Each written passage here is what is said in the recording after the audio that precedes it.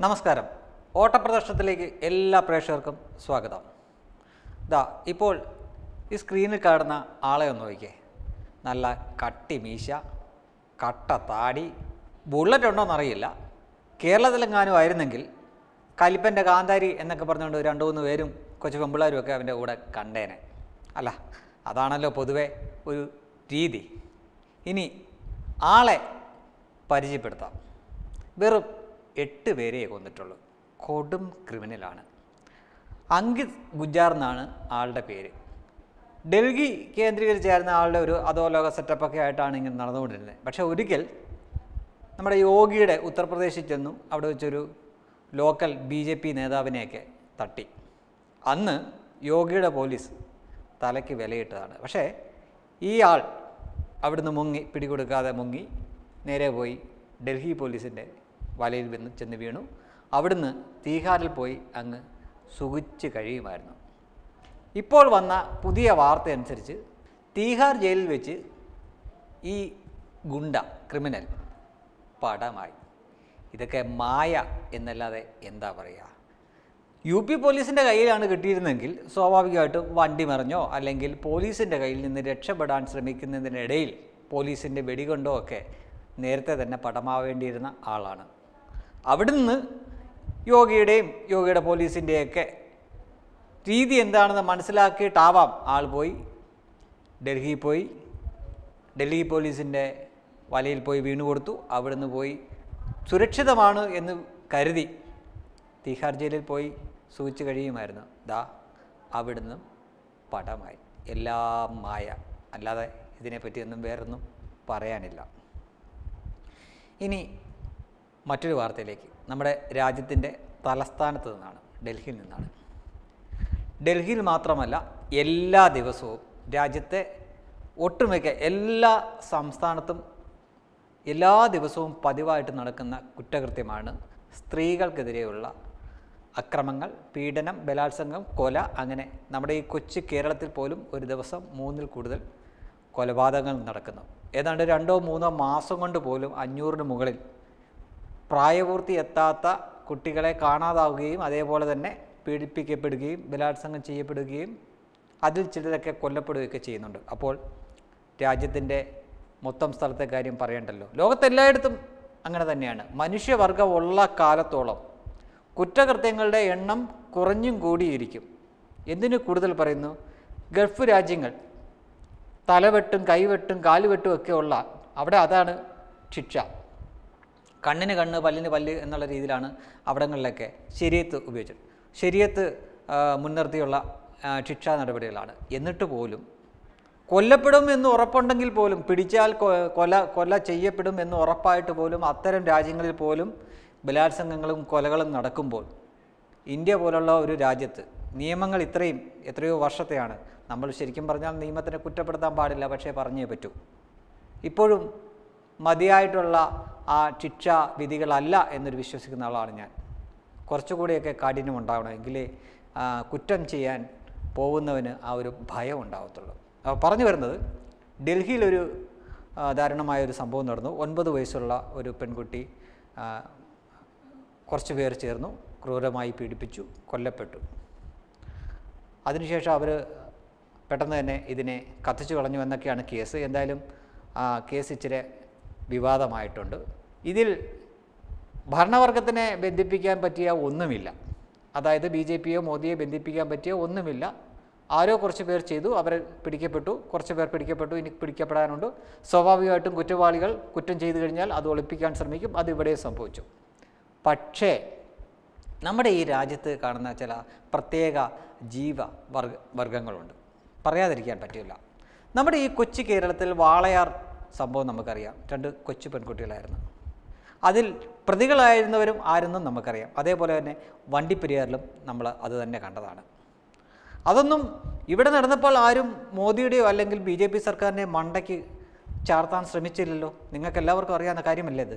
എത്രമാത്രം വിവാദമായതെന്നാണ് അന്ന് നിങ്ങൾ ആരെങ്കിലും സി എസ് സുജാത എന്ന വ്യക്തിയെ കണ്ടിട്ടുണ്ടോ?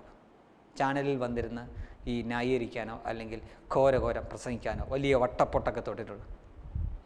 രാഹുൽ മാങ്കൂട്ടത്തിൽ എന്ന് പറഞ്ഞ വ്യക്തി ഓക്കെ അദ്ദേഹമുണ്ട് അദ്ദേഹവും സി എസ് സുജാതയും കൂടെ ഇന്ന് ഭയങ്കര ഘോര ഘോര പ്രസംഗമായിരുന്നു ചാനലുകളിലൊക്കെ വന്നിരുന്നിട്ട്. ഇതെന്തോ മോദി സർക്കാർ ചെയ്ത പോലെയാണ്. എന്തേ? ഇവർക്കാർക്കും ഇത് ഇതേ സംഭവങ്ങൾ അതിലും കഠിനമായ രീതിയിൽ കേരളത്തിൽ നടന്നപ്പോൾ എന്തേ? ആ സംഭവം കൂടെ എടുത്ത് മോദിയുടെ തോളിലോട്ട് വെക്കാൻ പാടില്ലായിരുന്നു. ഇതൊക്കെ ചില പ്രത്യേക താല്പര്യത്തിന്റെ പുറത്ത് നടക്കുന്നതാണ്. കേരളത്തിൽ ഒരു ബഹളമുണ്ടാക്കിയാൽ അത് ഒരുപക്ഷെ ഇന്ത്യ മാത്രം അറിഞ്ഞ് അവിടെ നിൽക്കും.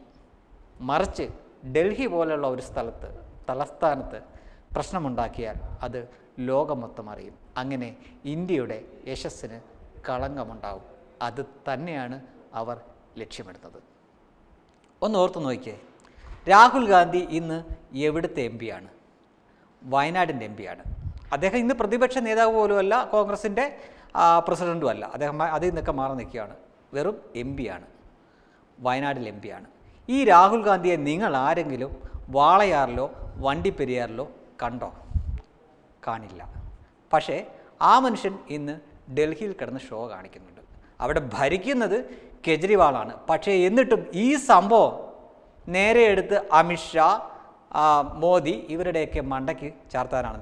അവരൊക്കെ അവർ ഭരിക്കുന്ന കൊണ്ടാണത്രേ ഈ ഇന്ത്യയിൽ ഇങ്ങനെ കൊലപാതകങ്ങളും ബലാത്സംഗങ്ങളും നടക്കുന്നതാണ് നടക്കുന്നത് എന്നാണ് അവർ പറയുന്നത്. എന്താ ലോകത്ത് ഒരിടത്തും ഇതൊന്നും നടക്കുന്നില്ലേ? മനുഷ്യവർഗമുള്ള കാലത്തോളം ഈ കുറ്റവാസനയും അവന്റെ കൂടെ തന്നെ കാണും. മനുഷ്യൻ പകുതി മൃഗവും കൂടെയാണ്. ചില നിയമങ്ങളും അല്ലെങ്കിൽ സാമൂഹ്യ ചുറ്റുപാടുകളും അവൻ വളർന്നു വന്ന രീതികൾ അവന്റെ സുഹൃത്തുക്കൾ അവന്റെ അധ്യാപകർ അതൊക്കെയാണ് അവനെ നല്ലൊരു മനുഷ്യനാക്കുന്നത്. മനുഷ്യൻ മോശമാവാനും നല്ലതാവാനും ഫിഫ്റ്റി ഫിഫ്റ്റി ചാൻസാണ് അപ്പോൾ അങ്ങനെയുള്ളവർ ഏതൊക്കെ നിയമം കൊണ്ടുവന്നാലും ശരി കുറ്റവാസനയുള്ളവർ എല്ലായിടത്തും കാണും. പണ്ട് നമ്മുടെ ഒരു പഴയ മുഖ്യമന്ത്രി തന്നെ പറഞ്ഞിട്ടുള്ളതാണ് ചായ കുടിക്കുന്ന പോലെയാണ് അത്രേ അമേരിക്കയിൽ സ്ത്രീപീഡനങ്ങളെന്ന്. അപ്പോൾ നമ്മളെക്കാളും എത്രയോ ഉയർന്ന അതെ അല്ലെ വികസനത്തിന്റെ കാര്യത്തിലും മറ്റ് സ്വതന്ത്ര ചിന്താഗതിയുടെയൊക്കെ കാര്യത്തിൽ ഉയർന്നു നിൽക്കുന്നതാണ് എന്ന് പറയപ്പെടുന്ന അമേരിക്കയിലെ കാര്യമാണ് എത്രയോ വർഷങ്ങൾക്ക് മുമ്പ് പറഞ്ഞത് ലോകത്ത് എല്ലായിടത്തും നടക്കുന്ന കാര്യമാണ്. പക്ഷേ നമ്മുടെ ഈ ഇന്ത്യയിൽ നടക്കുമ്പോൾ മാത്രം ചില സ്ഥലങ്ങളിൽ നടക്കുന്നത് അങ്ങ് വിദഗ്ധമായിട്ട് മൂടി വെക്കും ചില സ്ഥലങ്ങളിൽ നടക്കുമ്പോൾ ആ ചെയ്ത കുറ്റകൃത്യത്തിന്റെ ആ തീവ്ര നോക്കി തീവ്രത നോക്കിയല്ല അവർ പ്രതികരിക്കുന്നത്. മറിച്ച് എങ്ങനെ രാജ്യത്തിനെ അതാണ് എങ്ങനെ രാജ്യത്തിനെ മറ്റു രാജ്യങ്ങളുടെ മുന്നിൽ അപമാനിക്കാം അത് മാത്രമാണ് അത് മാത്രമാണ് അവർ മുഖ്യമായി നോക്കുന്നത്. അതുകൊണ്ടാണ് അവർക്ക് വാളയാർ കണ്ണിപ്പെടാത്തത് വണ്ടിപ്പെരിയാർ കണ്ണിപ്പെടാത്തത് ഡൽഹി മാത്രം കണ്ണിപ്പെടുന്നത്.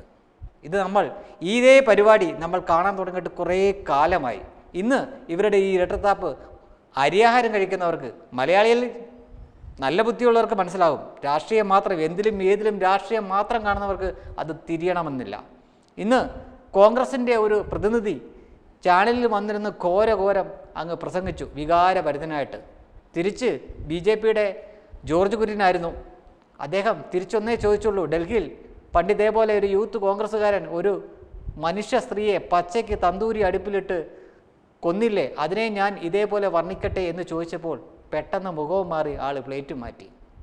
അപ്പോൾ ഇതൊക്കെ ജാതിയോ മതമോ പാർട്ടിയോ അല്ലെങ്കിൽ എന്ത് ഗോത്രമോ അതിന്റെ ഒന്നും പ്രശ്നമല്ല. ചില മനുഷ്യരുടെ ചിന്താഗതിയും അവന്റെ ഉള്ളിലുള്ള മൃഗീയ വാസനകളുമാണ് അവനെ കുറ്റവാളികളാക്കുന്നത്. അതിന് യാതൊരു ബന്ധവുമില്ലാത്ത ഭരണാധികാരിയുടെ മണ്ടയ്ക്കോട്ടാണ് കൊണ്ട് ചാർത്തി കൊടുക്കുന്നത്. മോദി എന്ത് ചെയ്തു? ഡൽഹിയിൽ നടന്നുകൊണ്ട് അത് വിവാദമാക്കണം. മോദിനെ അപമാനിക്കണം അതുവഴി രാജ്യത്തിനെ കൂടെ അപമാനിക്കണം. അത് മാത്രമാണ് അവരുടെ ലക്ഷ്യം. അല്ലാതെ സതുദ്ദേശപരമേ അല്ല. ആയിരുന്നുവെങ്കിൽ വയനാട്ടിലെ എം ആയ രാഹുൽ ഗാന്ധി വാളയാറി പോകുമായിരുന്നു വണ്ടിപ്പെരിയാറി പോകുമായിരുന്നു. എന്തുകൊണ്ട് പോയില്ല? അപ്പോൾ തന്നെ അവരുടെ കപടമുഖം വെളിവാകും. രാജ്യത്തിനെ ഇകഴ്ത്തണം. രാജ്യത്തിനെ ഇകഴ്ത്താൻ കിട്ടുന്ന ഒരവസരവും ഇതേപോലുള്ള ഛിദ്ര ശക്തികൾ പാഴാക്കില്ല. അവർ അത് പരമാവധി ഉപയോഗിക്കും. അത് തന്നെയാണ് ഈ ഡൽഹി കേസിലും ഇപ്പോൾ കാണുന്നത്. ഇനി നമ്മുടെ സംസ്ഥാനത്തെ കോവിഡിന്റെ കണക്ക് പറയുകയാണെങ്കിൽ ഇന്നും ഇരുപത് ഇരുപതിനായിരത്തിന് മുകളിൽ തന്നെയാണ് ഇരുപത്തിരണ്ടായിരത്തി നാനൂറ്റി പതിനാലുണ്ട് ഇന്നും പതിവ് പോലെ തന്നെ കുറേ ദിവസം കൊണ്ട് പതിവായിട്ട് തന്നെ കേന്ദ്രം നല്ല ശാസനം കൊടുക്കുന്നുണ്ട് കേരള സർക്കാരിന്. കേരള സർക്കാരിന് ഇന്നിപ്പോൾ ചില വാർത്തകളിലൊക്കെ കണ്ടത് നിയന്ത്രണം തെറ്റി അല്ലെങ്കിൽ നിയന്ത്രണം നിയന്ത്രണം പൊട്ടി പിണറായിയും കൊറോണയും എന്ന രീതിയിലാണ് വാർത്തയൊക്കെ പോകുന്നത്. പിണറായിയുടെ നിയന്ത്രണവും പോയി കൊറോണയുടെ നിയന്ത്രണവും പോയി. രണ്ടും കുതിക്കുക അദ്ദേഹം അദ്ദേഹം കൂടെ ചെയർമാനായിട്ടുള്ള ഈ കൊറോണയെ പറ്റിയുള്ള അവലോകന യോഗമൊക്കെ ഉണ്ട്. അവിടെ കിടന്നുകൊണ്ട് പൊട്ടിത്തെറിക്കുന്നതെന്നൊക്കെ പറയുന്നുണ്ട്. അപ്പോൾ ആരാണ് ശരിക്കും തീരുമാനം എടുക്കുന്നതെന്ന് അദ്ദേഹത്തിന് പോലും ഒരു പിടിയില്ല നടത്തുന്നത് അടൂർ ഗോപാലകൃഷ്ണനൊക്കെയാണ് ആ അതിൽ ഉള്ള അംഗങ്ങളൊക്കെയാണെന്ന് പറയപ്പെടുന്നത്. എന്തരാവോ എന്തോ. ഒരു പിടുത്തമില്ല എന്തായാലും ഇന്ന് ഇരുപത്തിരണ്ടായിരത്തി നാനൂറ്റി പതിനാല് പേർക്ക് കോവിഡ് പോസിറ്റീവാണ്. പതിനൊന്ന് ദശാംശം മൂന്ന് ഏഴാണ് ടെസ്റ്റ് പോസിറ്റിവിറ്റി നടക്കുന്നത്. നൂറ്റിയെട്ട് പേര് ഇന്നും നമ്മളെ വിട്ടു പിരിഞ്ഞിട്ടുണ്ട് ഇത് ഇങ്ങനെ പോയാൽ ശരിയാവില്ല. ഇപ്പോൾ ഇത് മനസ്സിലാക്കിയിട്ടാണോ അതോ ജനരോക്ഷം കണ്ടിട്ടാണോ എന്തോന്ന് അറിയില്ല. കുറേയൊക്കെ മാറ്റി നിയന്ത്രണങ്ങളിൽ ചില മാറ്റങ്ങളൊക്കെ വരുത്താൻ നോക്കിയിട്ടുണ്ട്. എന്തായാലും കതിരിൽ കൊണ്ട് വളം വെക്കുന്ന ഒരു പരിപാടിയായി പോയെന്നേ പറയാനുള്ളൂ. നമ്മൾ ശ്രദ്ധിക്കേണ്ടത് അവരവരുടെ രീതിയിൽ രീതി കൂടെ അവർക്ക് തോന്നുന്ന രീതിയിലൊക്കെ ഓരോന്ന് ചെയ്തുകൊണ്ടിരിക്കും. നമ്മൾ ഓരോരുത്തരും ഓരോ വ്യക്തിയും സുരക്ഷിതരായിരിക്കാൻ അങ്ങേയറ്റം ശ്രദ്ധിക്കുക. അത്ര മാത്രമേ ഇപ്പോൾ പറയാൻ പറ്റൂ. ഓരോ ദിവസവും ഇരുപത്തിരണ്ടായിരം പേർക്ക് മുകളിൽ വെച്ച് കോവിഡ് ബാധിച്ചുകൊണ്ടിരിക്കുകയാണ് എന്ന് ഓർമ്മ വേണം എല്ലാവരും സുരക്ഷിതരായിരിക്കുക. ശുഭരാത്രി. Web desk Tatwamayi news